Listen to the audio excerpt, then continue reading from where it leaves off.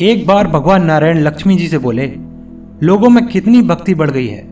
सब नारायण नारायण करते हैं। तो लक्ष्मी जी बोली, आपको पाने के लिए नहीं, प्रभु मुझे पाने के लिए भक्ति बढ़ गई है। तो भगवान बोले, लोग लक्ष्मी लक्ष्मी ऐसा जाप थोड़े ही ना करते हैं। तो माता लक्ष्मी बोली, कि विश्वास ना हो तो परीक्षा हो जाए प्रभु। तो भगवान नारायण एक गाँव में ब्राह्मण का रूप लेकर गए। एक घर का दरवाज़ा खटखटाया। घर के यजमान ने दरवाज़ा खोलकर पूछा आप कहाँ के हैं? तो भगवान बोले, हम तुम्हारे नगर में भगवान की कथा कीर्तन करना चाहते हैं। यजमान बोला, ठीक है महाराज, जब तक कथा होगी, आप मेरे घर में ही रहना। तो गाँव के कुछ लोग इकट्ठा हो गए और पूरी तैयारी कर दी। पहले दिन कुछ लोग आए। अब भगवान स्वयं कथा कर रहे थे तो संगत बढ़ी। दूसरे और तीसरे दिन और भी भीड़ हो गई। भगवान खुश हो गए कि कितनी भक्ति है लोगों में। तभी लक्ष्मी माता ने सोचा, अब देखा जाए कि क्या चल रहा है? लक्ष्मी माता ने बुढ़ी माता का रूप धारण कर लिया और उस नगर में पहुँची। एक महिला ताला बंद करके कथा में जा रही थी कि माता उसके द्वार पर पहुँच गई और बोली, बेटी, जरा पानी पिला देगी? तो वो महिला बोली माता जी साढ़े तीन बजे हैं, मुझे प्रवचन में जाना है। तो लक्ष्मी माता बोली, पिला दे बेटी, थोड़ा पानी, बहुत ज़्यादा प्यास लगी है। तो वो महिला लोटा भर के पानी लाई। माता ने पानी पिया और लोटा वापस लौटाया तो सोने का हो गया था। यह देखकर महिला अचंभित हो गई कि लोटा दिया तो स्टील का था और वापस लिया तो सोने का। कैसी चमत्कारिक माता जी हैं। अब तो वो महिला हाथ जोड़कर कहने लगी माता जी आपको भूख भी लगी होगी। खाना खा लीजिए। ये सोचा उसने कि खाना खाएगी तो थाली, कटोरी, चम्मच, गिलास आदि भी सोने के हो जाएँगे। माता लक्ष्मी बोली, तुम जाओ बेटी, तुम्हारा प्रवचन का टाइम हो गया है। वह महिला प्रवचन में आई तो सही, लेकिन आसपास की महिलाओं को सारी बात उसने बताई। अब महिलाएँ यह बात सुनकर चालू सत्संग में से ही उठकर चली गई। अगले दिन से कथा में लोगों की संख्या कम हो गई। तो भगवान ने पूछा कि लोगों की संख्या कैसे कम हो गई? किसी ने कहा, एक चमत्कारिक माताजी आई है नगर में, जिसके घर दूध पीती हैं तो गिलास सोने का हो जाता है।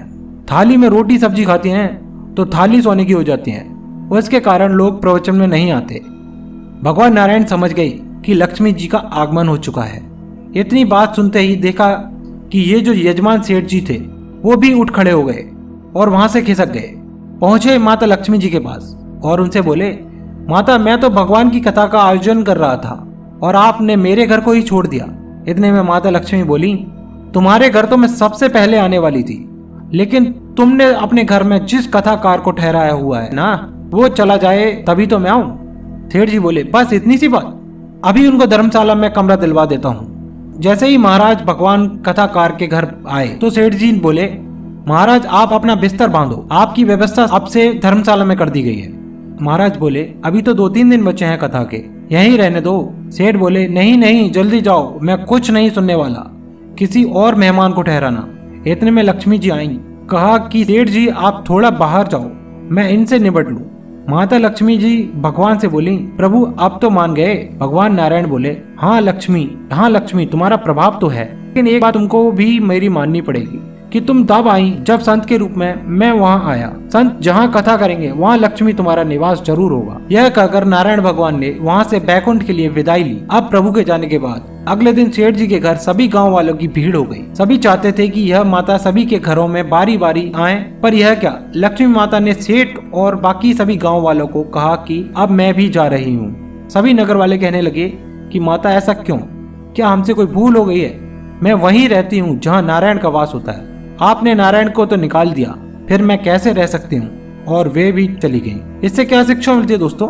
जो लोग केवल माता लक्ष्मी को पूछते हैं, वे भगवान नारायण से दूर हो जाते हैं। अगर हम नारायण की पूजा करें तो लक्ष्मी तो वैसे ही पीछे पीछे आ जाएँगी, क्योंकि वो उनके बिना रह ही नहीं सकती। जहाँ परमात्मा की याद है, वहाँ लक्ष्मी का वास होता है। लेकिन केवल लक्ष्मी के पीछे भागने वालों को न माया मिलती है और न ही राम। ज्ञान बांटने से बढ़ता है और केवल अपने पास रखने से खत्म हो जाता है। जय श्री हरि श्री राधे राधे।